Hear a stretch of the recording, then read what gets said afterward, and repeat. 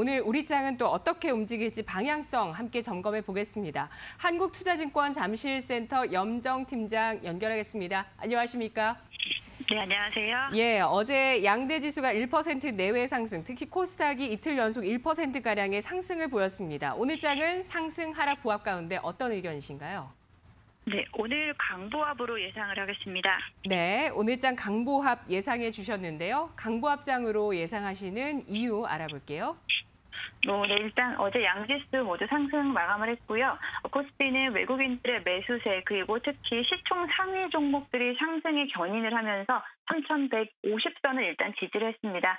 그리고 코스닥 지수는 1,000선을 돌파를 하면서 어, 이게 개인들의 개인 투자자들의 수심이 다시 살아났다라는 부분에서 긍정적으로 어, 얘기를 할 수 있는데요.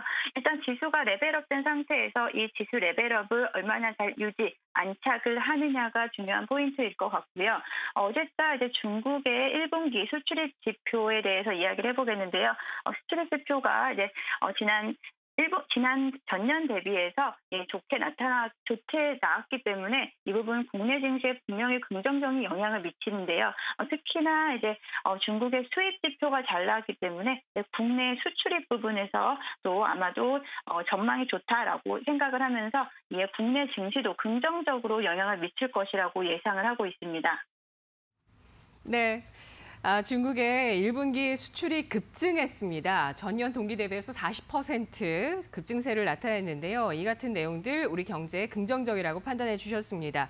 전략 세워보겠습니다. 지금 이제 횡보하던 코스피 5일선까지 어제 지수가 상승하면서 상승세로 나타나고 있고요. 양대 지수의 저항을 뚫고 나서의 5일선의 상승 흐름이 나타나고 있는데요. 오늘 강보합 시장에서는 어떻게 대응을 해보는 게 좋을지 전략 세워주시죠.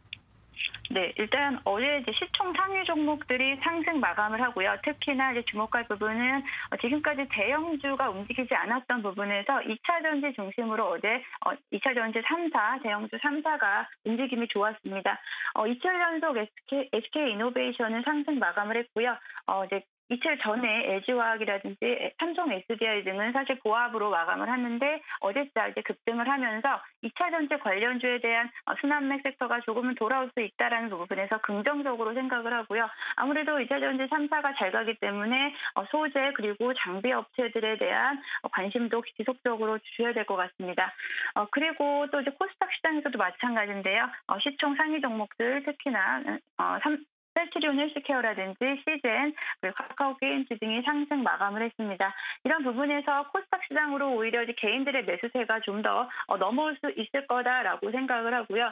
어, 무엇보다 지금은 이제 이런 어, 시총, 시총 상위 종목을도 주목하실, 주목하실 부분도 중요하지만 아무래도 어, 이런 실적 개선주에 대한 어, 지금 수요가 많이 있기 때문에 실적 개선주, 어, 소비 심리 회복에 따른 어, 유통업이라든지 이제 백화점주 그리고 화장품 업종까지 어, 전반적으로 좀 관심을 가져주시면 좋을 것 같은데 어, 1분기 실적이 기대되는 종목들이라고 하게 되면 아무래도 이제 아무레 퍼시픽이라든지 F&A 어, 그리고 뭐 어, 백화점 관련주들도 전반적으로 좋은 전망을 좀 전해드리고 싶습니다. 네, 알겠습니다. 의견 잘 들었습니다.